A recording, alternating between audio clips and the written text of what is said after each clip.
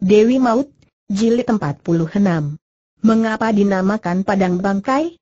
Sebenarnya padang itu adalah padang rumput yang luas, akan tetapi keadaannya demikian aneh.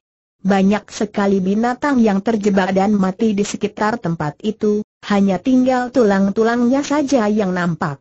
Bahkan kadang-kadang terlihat pula tulang-tulang manusia yang berserakan di sekitar padang itu. Mereka adalah orang-orang yang melakukan perjalanan lewat di tempat itu dan tersesat, kemudian akhirnya mati akibat kelaparan atau kehasan. Karena seringnya orang melihat bangkai binatang atau manusia di tempat ini, maka padang itu lalu dinamakan padang bangkai. Memang sangat berbahaya sekali. Ada bagian yang kelihatannya seperti padang rumput biasa, dengan rumput-rumput yang hijau segar laksana beludru, akan tetapi bagi mereka yang sudah mengenal daerah itu, di bagian yang rumputnya hijau segar tanpa mengenal musim itu, baik pada musim panas maupun di musim semi tetap saja hijau segar itu, justru merupakan tempat maut yang paling mengerikan. Salah sangka dapat membuat banyak manusia maupun binatang yang kebetulan lewat, terperosok ke tempat ini dan sekali kaki mereka terjerumus, sukar untuk menyelamatkan diri karena rumput hijau segar itu seakan-akan merupakan umpan atau perangkap yang kalau diinjak ternyata di bawahnya merupakan lumpur lembut yang dapat menyedot apa saja dengan kekuatan yang tak terukur besarnya. Lumpur lembut itu amat dalam dan sekali kaki menginjak Sukarlah ditarik kembali sampai akhirnya orang atau binatang yang terjebak itu ditelan habis ke dasarnya.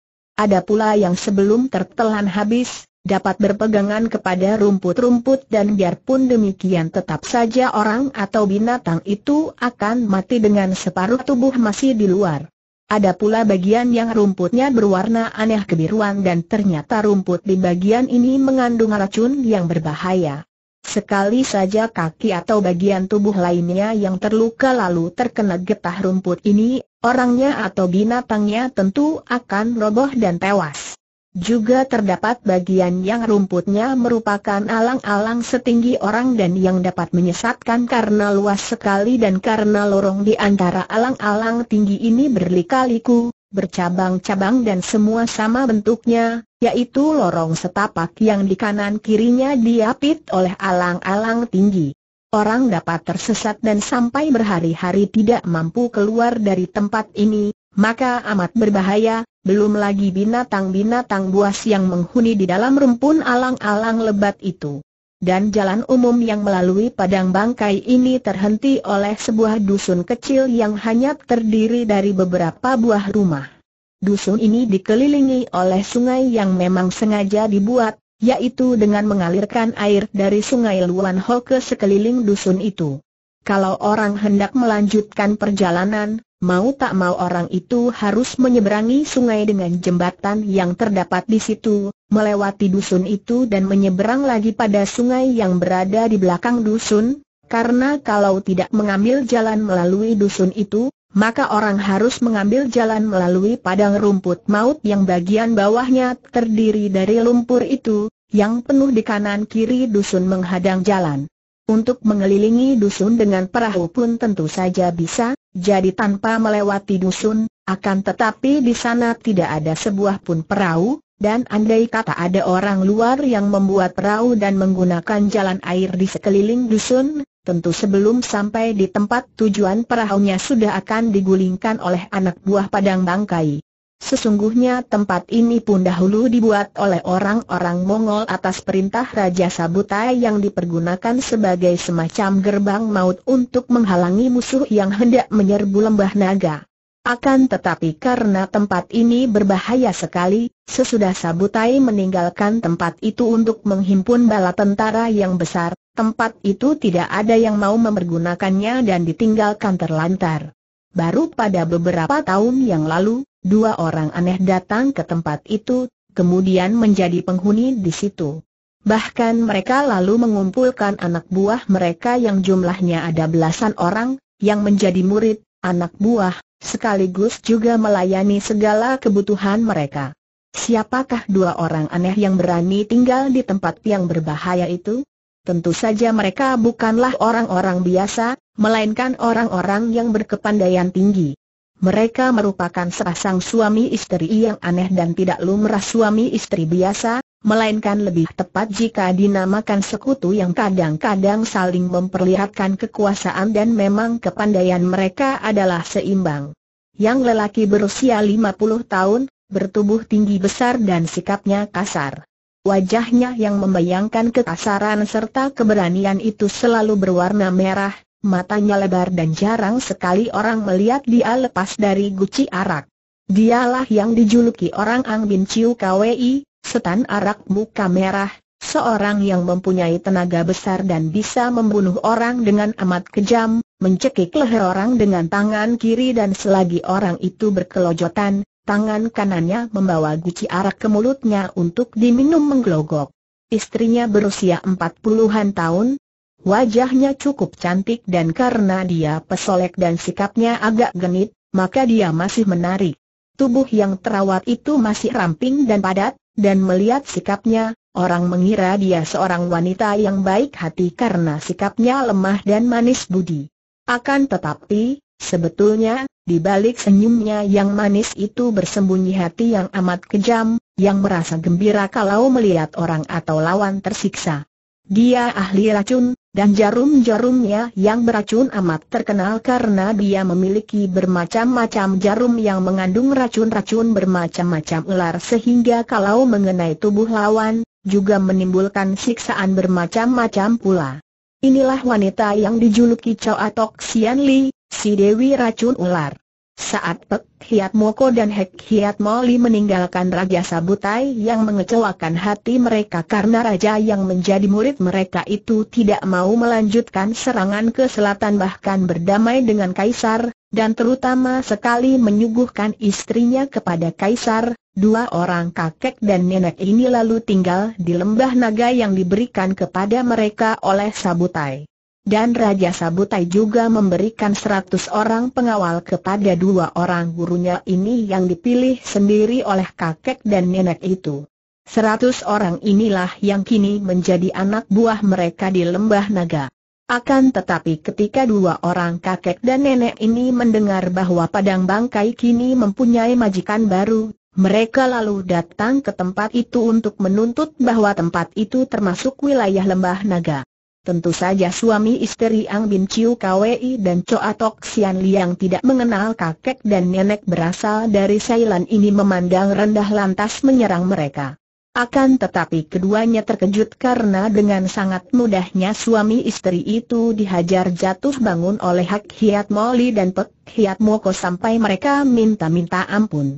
Kakek dan nenek itu melihat betapa kepandaian mereka berdua itu lumayan, dan karena untuk menghadapi para pembesar Beng Tiao yang mempunyai banyak orang pandai itu mereka pun membutuhkan kawan, maka mereka tidak membunuh suami istri itu bahkan ditarik menjadi sekutunya. Padang bangkai lalu diberikan kepada mereka sebagai tempat tinggal akan tetapi mereka harus menjaga agar jangan ada musuh yang dapat mendekati lembah naga tanpa diketahui. Demikianlah sedikit keterangan mengenai lembah naga dan padang bangkai, dan pada suatu hari, kini matahari telah naik tinggi, serombongan orang yang jumlahnya 36 orang kelihatan berjalan dari selatan menuju ke padang bangkai. Mereka itu terdiri dari 30 orang wanita serta 6 orang pria, dipimpin oleh seorang wanita yang berusia 30 tahun lebih, cantik dan gagah. 29 wanita lainnya yang menjadi anak buahnya juga rata-rata memiliki gerakan yang gagah dan usia mereka itu paling tinggi 40 tahun dan paling muda 30 tahun. Kesemuanya membawa sebatang pedang di pinggang mereka, kecuali wanita yang menjadi pimpinan dan yang berpakaian serba hijau itu, yang selain membawa sebatang pedang panjang, di pinggangnya terselip pula sepasang pedang pendek. Adapun enam orang laki-laki itu agaknya menjadi semacam pelayan, karena enam orang inilah yang membawa buntalan-buntalan mereka dan berjalan di tengah-tengah, dan biarpun mereka juga terdiri dari orang-orang muda berusia paling tinggi 30 tahun dan bertubuh tegap serta gerakannya gesit, tetapi sikap mereka terhadap para wanita itu jelas memperlihatkan bahwa mereka itu kalah pengaruh. Siapakah mereka ini yang begitu berani mati mendatangi tempat berbahaya ini? Mereka itu bukan lain adalah anggota-anggota Giok Hang Pang dan hal ini jelas dapat dilihat dari hiasan rambut wanita-wanita itu yang berbentuk burung hong. Mereka adalah anak buah Hobi Kiok yang telah tewas. Seperti telah kita ketahui, Giok Hang Pang telah merampas KWO, Telaga Setan, dan menjadikan tempat itu sebagai markas mereka dan menawan sebagian dari anak buah Ui Hang Pang yang dipimpin oleh Tiang Tiang telah dibunuh oleh Yobi Kiok. Kemudian perkumpulan itu ditinggalkan oleh Yobi Kiok dan ketika Yobi Kiok membantu Sabutai, ketua ini membawa sebagian besar anak buahnya untuk membantu. Setelah Yobi Kiok tewas, anak buahnya itu lalu tersebar tidak karuan, ada yang menjadi istri para perwira sabutai, ada pula yang tewas atau melarikan diri.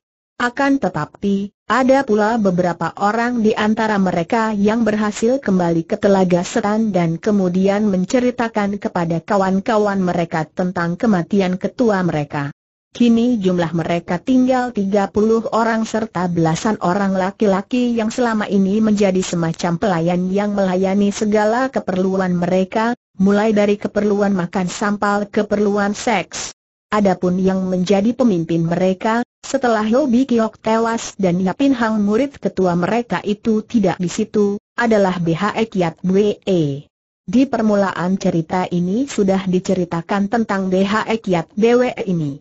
Dia adalah seorang kekasih yang tercinta dari mendiang Tiang Ti, yaitu ketua dari Ui Hang Pang yang tadinya bersarang di Telaga Setan dan kemudian terbunuh oleh Lobi Kiok.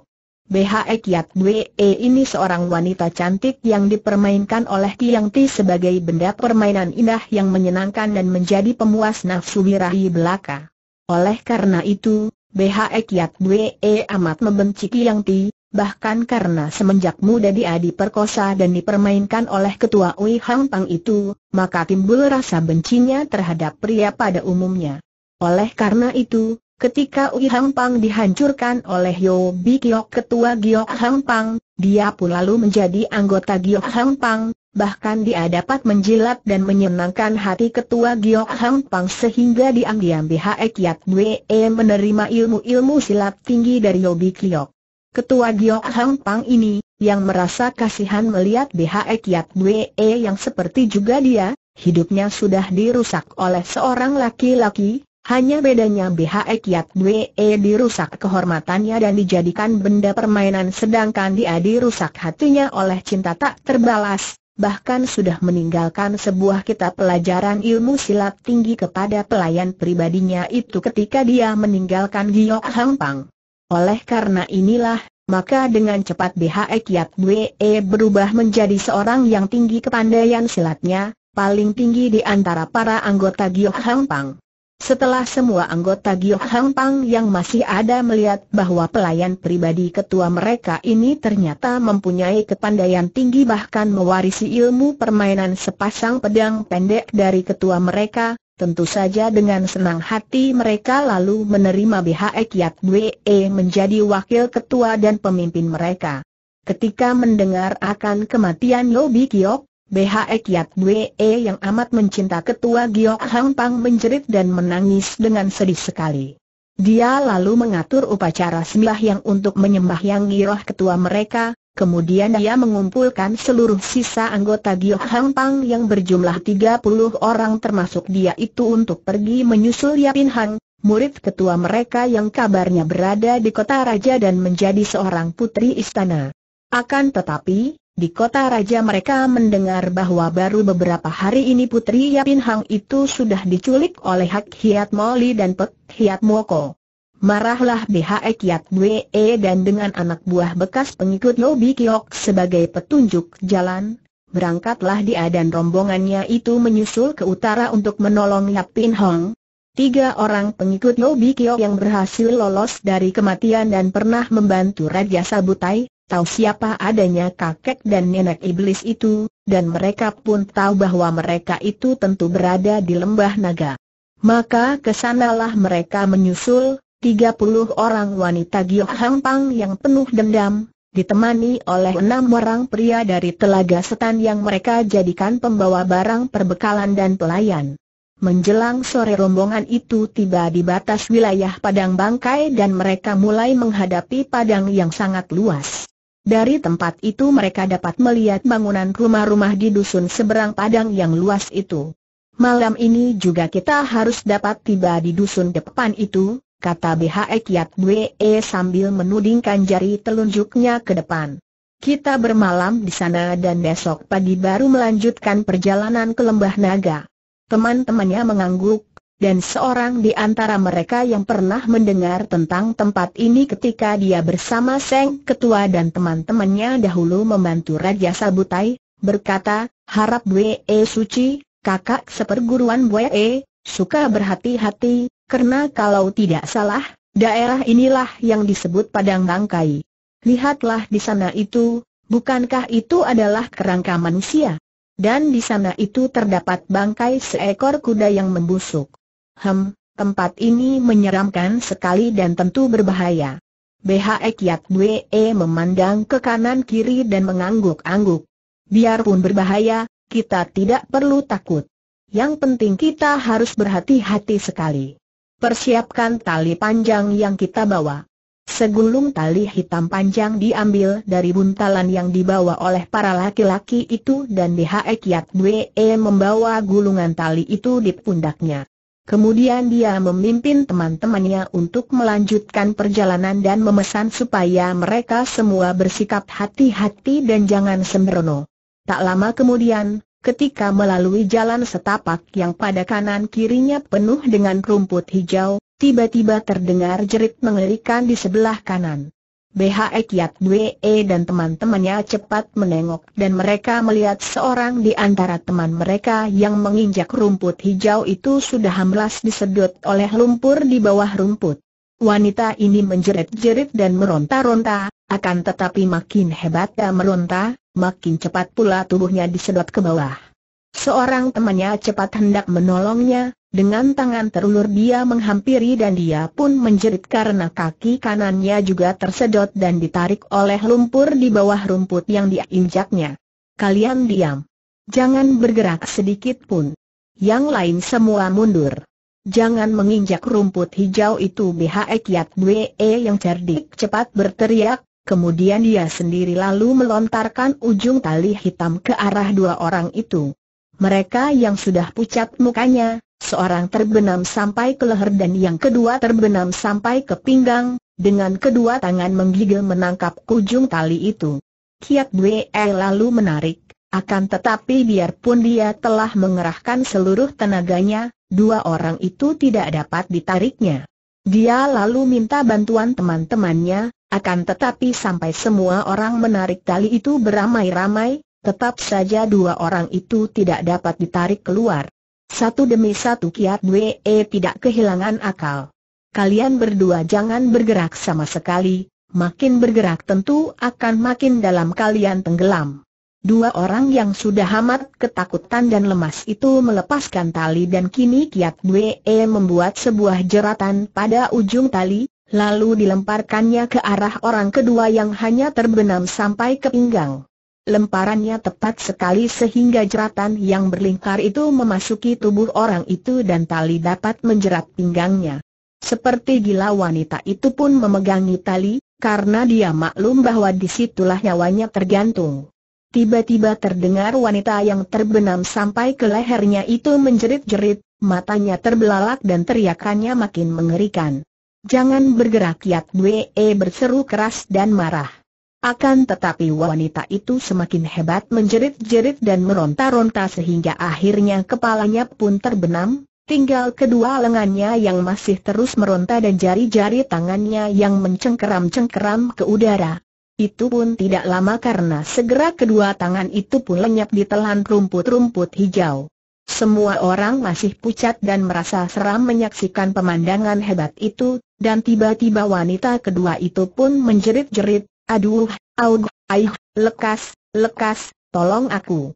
Dia mulai pula meronta-ronta dan Kiat Bwe cepat menarik tali yang kini sudah mengikat pinggang wanita itu.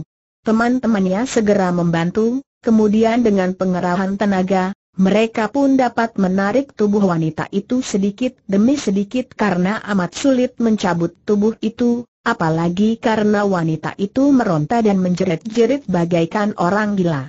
Wanita yang meronta-ronta seperti gila itu akhirnya mengejang, lalu lemas dan pingsan.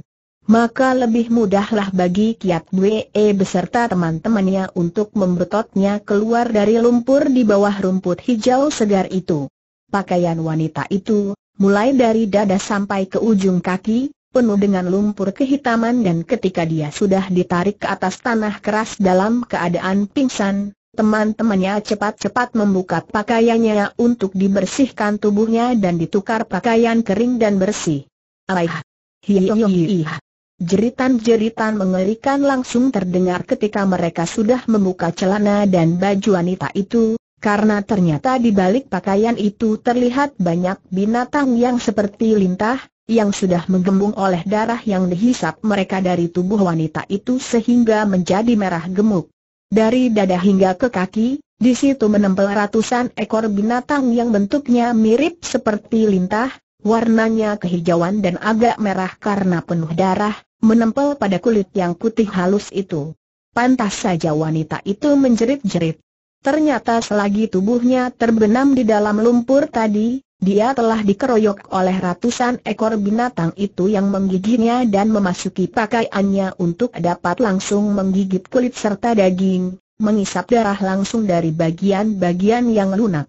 Biarpun dengan memberanikan hati yang merasa jijik dan ngeri akhirnya Kiat Bwe dan teman-temannya dapat mencabuti semua lintah-lintah itu dari tubuh teman mereka, tetapi wanita itu tak dapat hidup lebih lama, bahkan tidak sadar lagi dari pingsannya.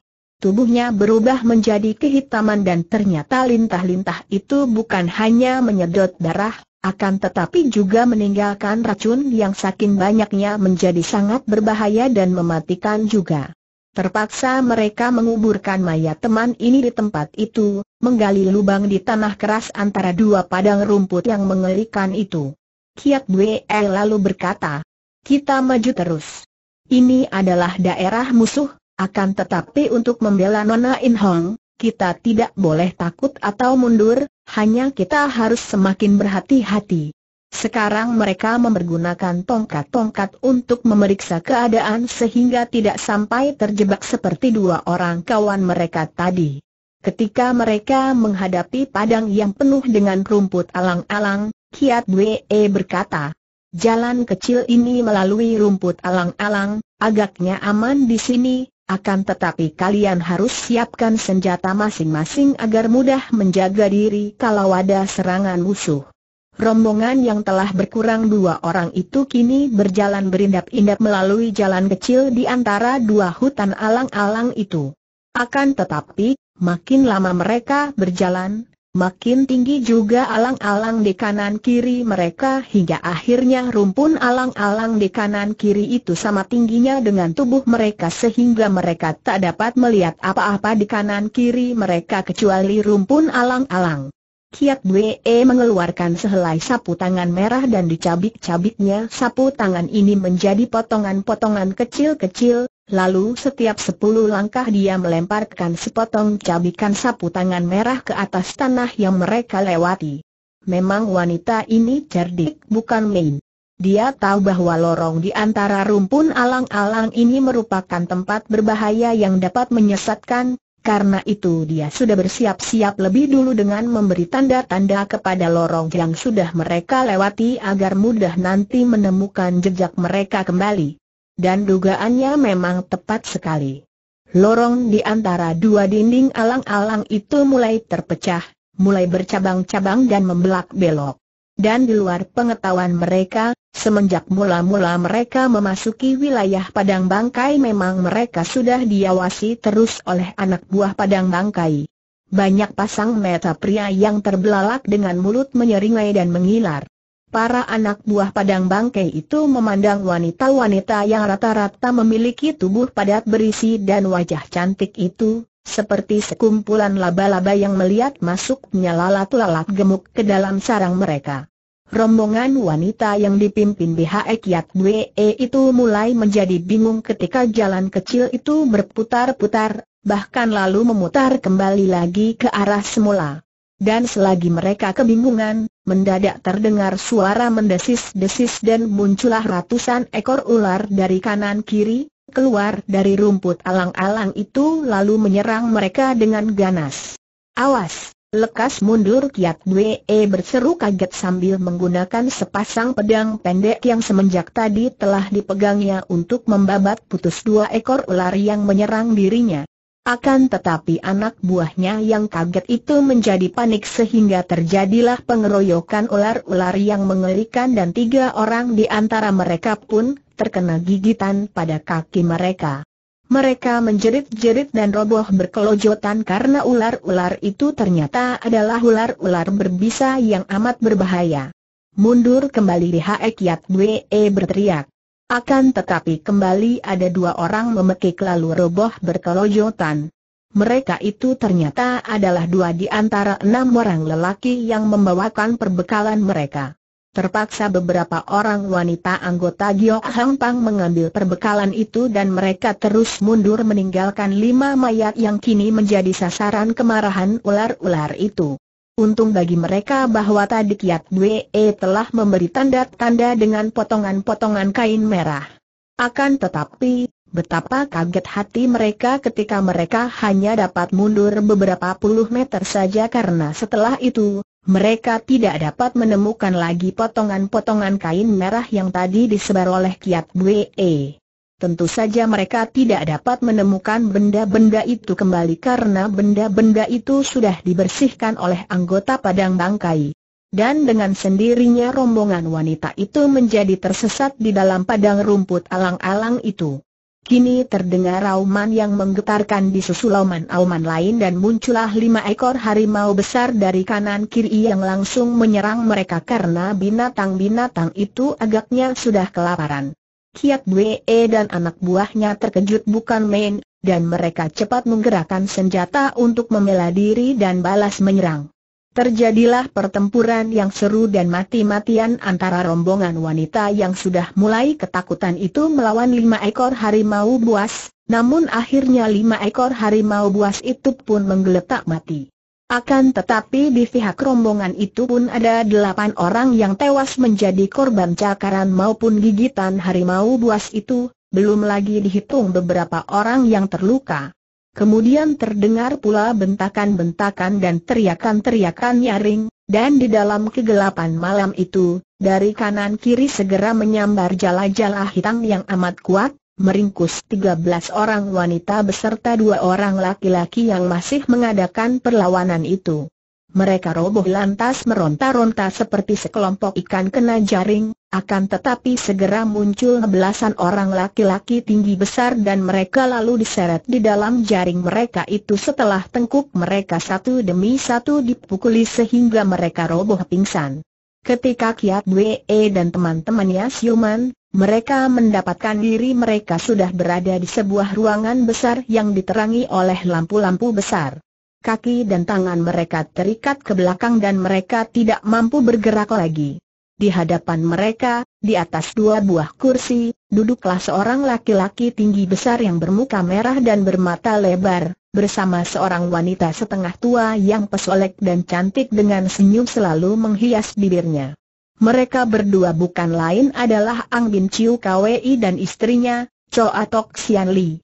Hahaha Ang Bin Chiu Kwei menenggak arak dari guci besar, mengusap mulutnya yang berlepotan arak, memandangi wanita-wanita itu satu demi satu, kemudian pandang matanya berhenti pada wajah BHE Kiat Bwe.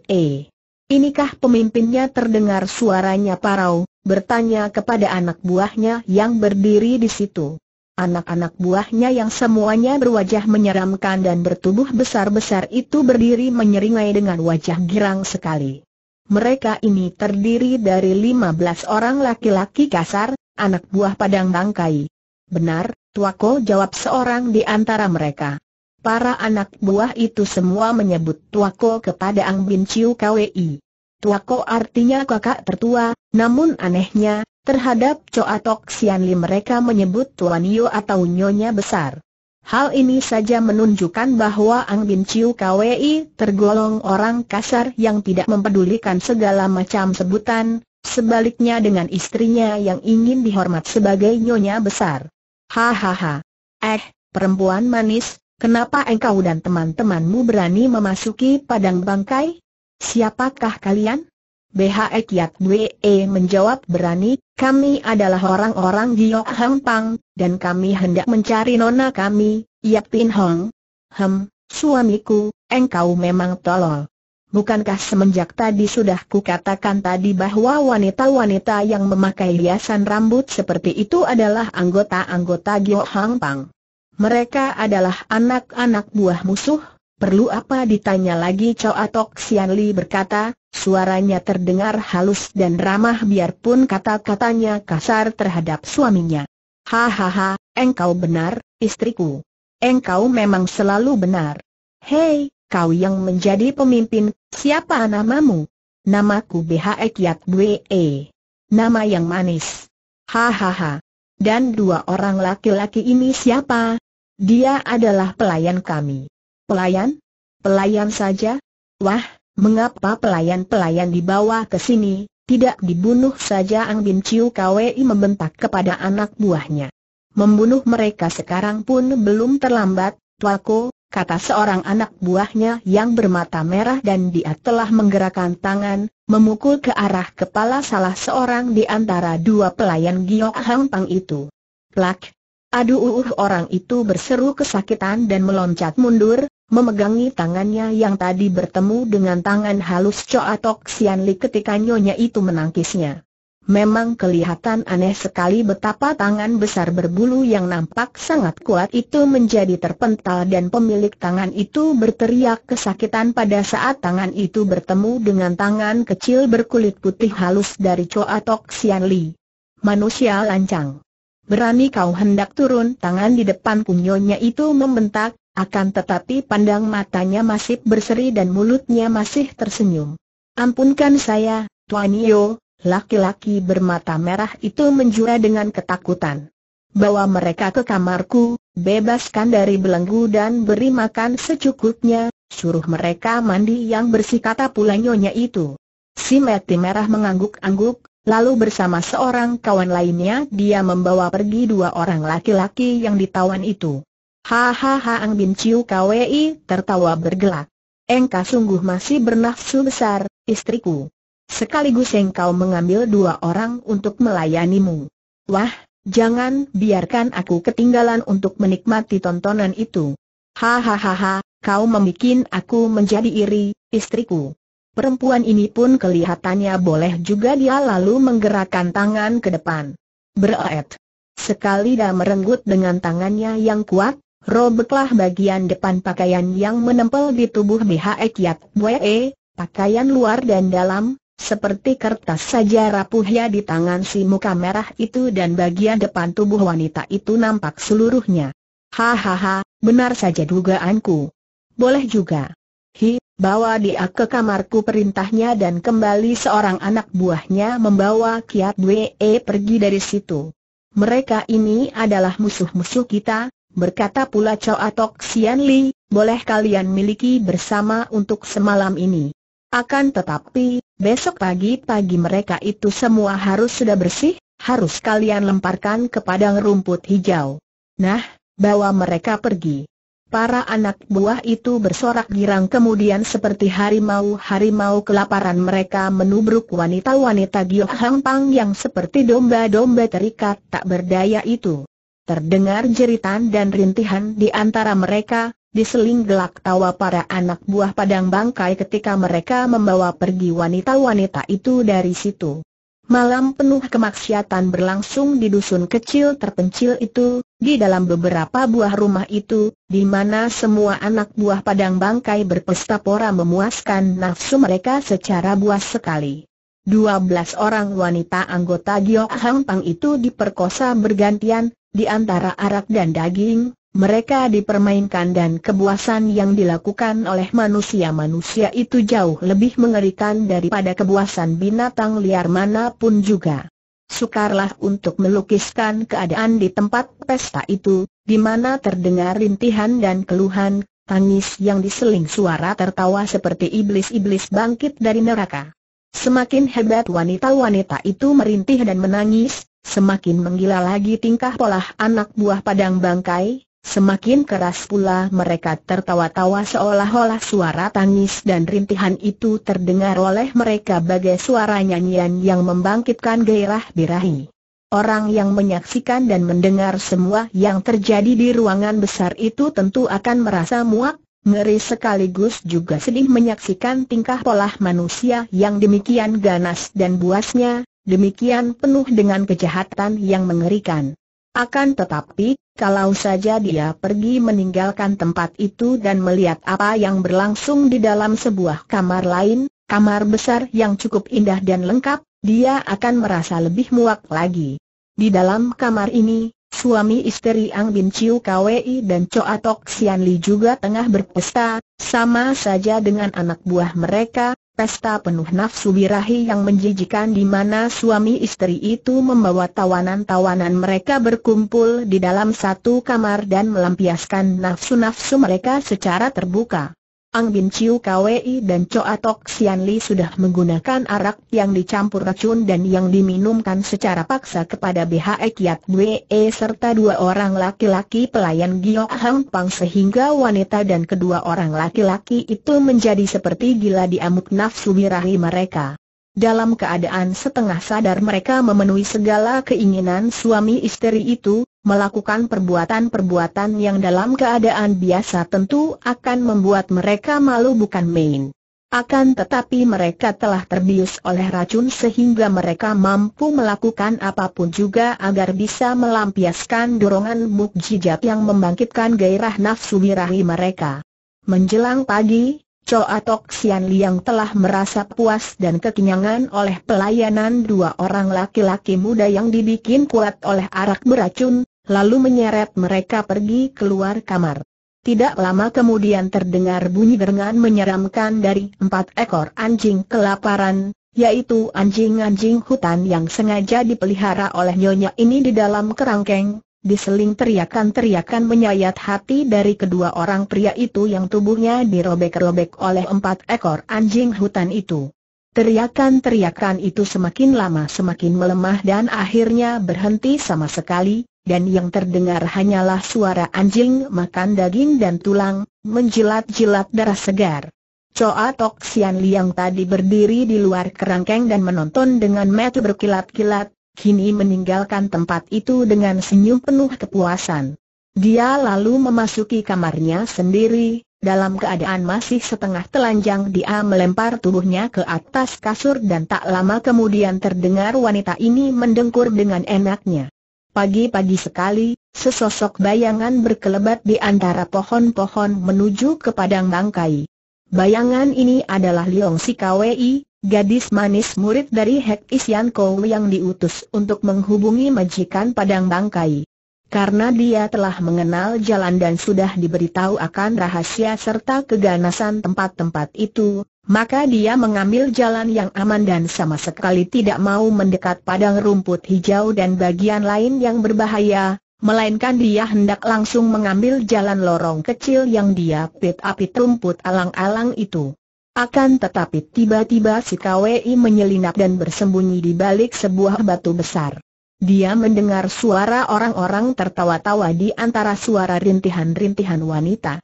Tidak lama kemudian, dari balik rumpun alang-alang muncullah 15 orang laki-laki tinggi besar yang dikenalnya sebagai anak buah padang bangkai.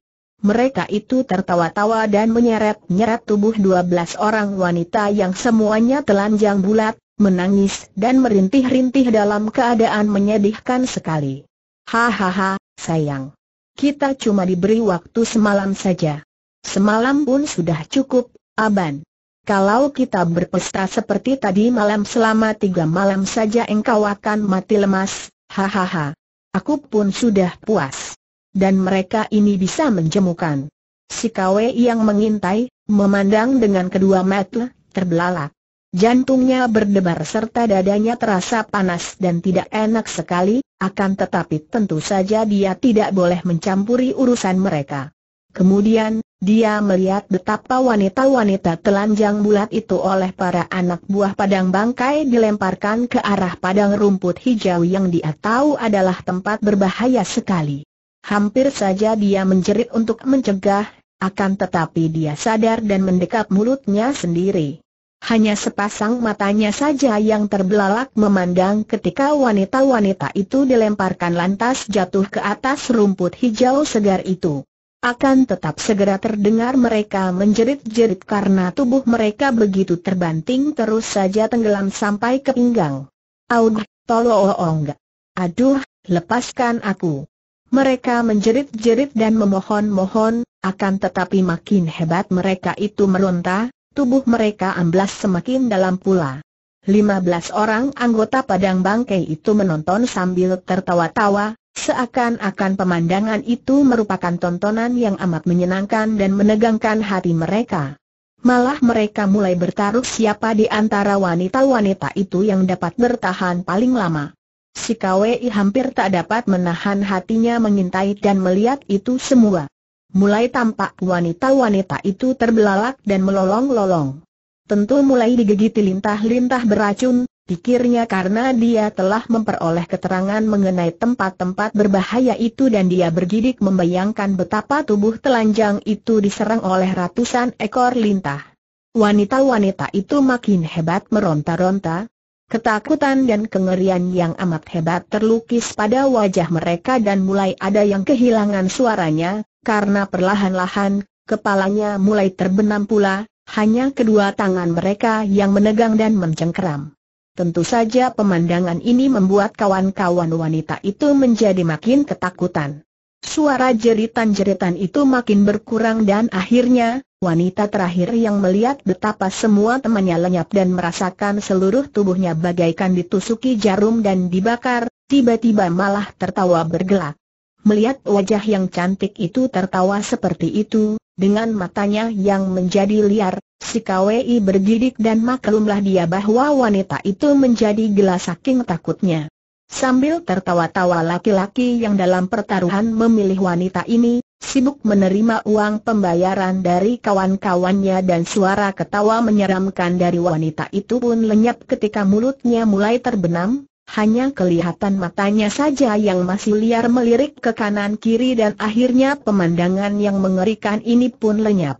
Tidak ada bekasnya lagi dari 12 orang wanita itu dan rumput-rumput di situ tetap hijau segar seakan-akan mendapat rabuk dari mayat 12 orang wanita itu.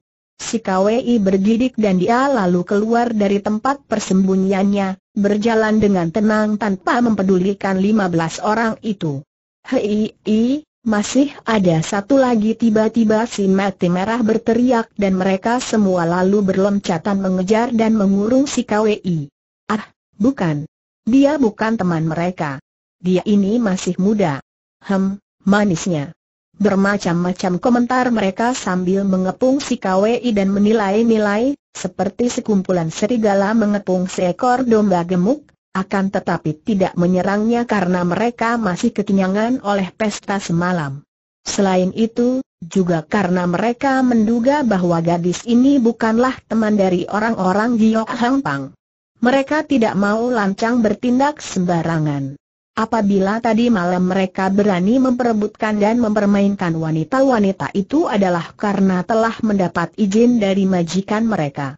Kini mereka menghadapi si KWI sebagai seorang baru, seorang musuh baru yang berani memasuki wilayah padang bangkai tanpa izin. Hei, Nona! Siapa engkau tanya si mati merah yang agaknya selalu menjadi pemimpin di antara anak buah padang bangkai itu. Si KWI memandang mereka dengan sinar mata jijik dan tidak suka.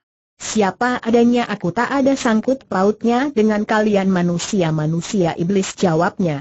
Mereka membelalakan mata, saling pandang dan tertawa. Hahaha, si manis ini galak sekali. Tunggu aku menjinakkan dia. Tangkap saja dulu dan laporkan ke dalam. Biar aku yang menangkap, akan kuhukum dia dengan satu kali ciuman. Si mati merah menjadi curiga ketika melihat sikap si KWI begitu menantang, maka dia mengangkat tangannya. Semua temannya diam dan si mati merah kini melangkah maju menghadapi si KWI. Nona, engkau sudah memasuki wilayah kami, maka harus mengaku siapa namamu dan mau apa engkau melanggar wilayah kami. Minggirlah kalian. Aku hendak bertemu dengan Ang Bin Chiu KWI dan Choa Tok Sian Li kata si KWI. Wah wah, bocah ini kurang ajar sekali terdengar teriakan, dan mereka kini mengurung makin rapat. Tunggu. Biarlah kita coba dulu sampai di mana kelihayannya maka dia ingin bertemu dengan Tuako dan Toaniro tanpa mengindahkan kita sama sekali. Biarlah aku mencobanya. Aku saja. Biar ku tangkap dia untukmu. Mereka seperti berebut dan akhirnya, dua orang tinggi besar telah menubruk ke arah si KWI dari depan dan belakang, agaknya mereka itu sudah ingin sekali untuk menubruk, memeluk dan mendekap gadis manis itu untuk menangkapnya. Akan tetapi, Liong si KWI memang sudah bersiap-siap untuk ini dan kebetulan sekali, dia sekarang dapat melampiaskan kebenciannya kepada laki-laki yang dianggapnya sebagai manusia-manusia iblis ini. Begitu melihat ada dua orang menyergap dari depan belakang, dia segera mengubah kedudukan kakinya dengan memiringkan tubuh sehingga mereka berdua itu kini bukan menyergap dari depan belakang, melainkan dari kanan kiri. Kedua tangannya lalu bergerak secepat kilat, dengan dua jari tangan kanan kiri dia mendahului mereka, menotok ke arah ulu hati mereka. Huk! Huk! Dua orang laki-laki tinggi besar itu terkejut dan napas mereka seolah-olah terhenti. Pada saat itu pula, kedua tangan si KWI sudah menangkap rambut mereka dengan jambakan kuat dan sekali darah itu membentak dengan suara nyaring sekali, tubuh mereka sudah terlempar ke arah rumput hijau. Bres! Bres! Karena mereka tidak berdaya dan tubuh mereka yang berat terbanting, maka seketika mereka telah amblas ke dalam lumpur maut itu sampai ke dada. Tolong! Tolong enggak mereka berteriak dengan metle, terbelalak ketakutan. Karena mereka sudah mengenal tempat maut ini, mereka sama sekali tak berani bergerak, hanya mati mereka yang terbelalak dan melirik ke sana sini. Tentu saja teman-temannya menjadi sangat terkejut dan cepat mereka itu mengeluarkan tali panjang, lantas melontarkan ujung-ujung tali ke arah mereka, dan 13 orang itu segera mengerahkan tenaga untuk menarik keluar dua orang teman yang sial itu. Aduh, aduh, cepat, mereka mengeroyokku, perempuan-perempuan itu yang seorang berteriak-teriak ketakutan, Tubuhnya yang terbenam itu terasa seolah-olah dicubiti dan digigiti oleh wanita-wanita Giok Hang Pang yang menjadi korban keganasan mereka tadi. Aung, aduh, mati aku orang kedua tiba-tiba menjerit, matanya terbelalak dan mukanya pucat sekali. Akhirnya, dengan susah payah mereka dapat menarik dua orang itu ke tempat aman. Cepat mereka membersihkan lintah-lintah beracun yang menempel di tubuh mereka dan memberi obat penawarnya. Dan mereka langsung tertawa geli ketika melihat bahwa yang mengadu-adu dan sambat mati tadi ternyata sudah ditempeli seekor lintah besar pada anggota rahasianya. Eh mana dia? Iblis betina itu telah pergi. Itu lihat. Dia menuju ke sarang kita. Kejar. Tiga belas orang itu meninggalkan dua orang teman mereka yang sudah terhindar dari bahaya maut untuk mengejar bayangan si KWI yang telah berlari cepat memasuki padang alang-alang yang sudah dikenalnya dari petunjuk gurunya pula. Memang jalan kecil yang datang dari utara padang bangkai tidaklah begitu ruwet dan berbahaya, kecuali melalui satu padang rumput hijau yang merupakan tempat maut itu dan sedikit pada alang-alang yang tidak begitu luas dan tidak ada mengandung jebakan-jebakan yang mengerikan. Yang berbahaya adalah jalan yang ditempuh oleh rombongan Giok Hang Pang kemarin, yaitu dari selatan. Tapi jalan ini pun sudah diketahui oleh si KWI karena memang gurunya sudah mengenal daerah berbahaya ini dan telah menceritakan kepada muridnya.